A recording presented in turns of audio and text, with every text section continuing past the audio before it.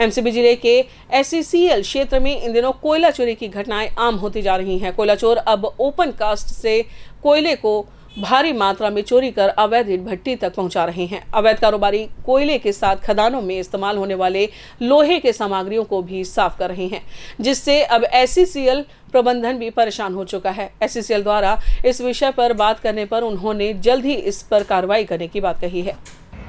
उस पर निश्चित रूप से मुझे भी कुछ मालूम चला है कि यहाँ पर अवैध कारोबार, कुछ टुटपुंजिया लोग हैं जो अपने आप को गुंडागर्दी में शामिल हैं। वो लोग अभी अवैध कारोबार किए हैं, ओपन कास्ट है, कोयला उठा के ले ले लेके जा रहे हैं। ये बात निश्चित रूप से मैंने टीआई साहब के नॉलेज में डाल दिया है और आप लोगों के भी नॉलेज में डाल रहा हूँ कि अगर आपको इस सब, इस तरह से चोरी की कोई बात पता चले, मुझको बताएँ, निश्चित रूप से सामने खड़ा होकर के और आपकी मदद करके कोयले को बंद करवाऊँगा।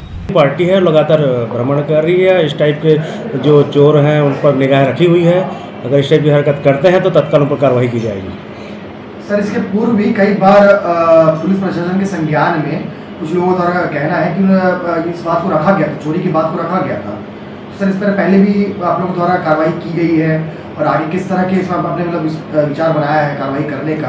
क्योंकि बात, चोरी की जो मामला है कोयले का, वो पहले से काफ़ी ज़्यादा बढ़ चुका है। हाँ इससे पूर्व में तो कार्रवाई की गई है और इस बार भी अगर सूचना आती है या कहीं पर मिलते हैं तो उन पर कार्रवाई की जाएगी। अच्छा इसमें जो है संबंधित अधिकारी को हमने निर्देशित किया है कि वो एक बार उसका निरीक्षण करवा लें पूरे अपने लीज होल्ड एरिया का। और जहाँ भी, और इसको सतत जो है वो निरीक्षण उसका जारी रखें और जहाँ भी अवैध माइनिंग जो है वो पाया जाता है, तत्काल उसका एक एफआईआर जो है संबंधित थाने में जमा करवाएँ।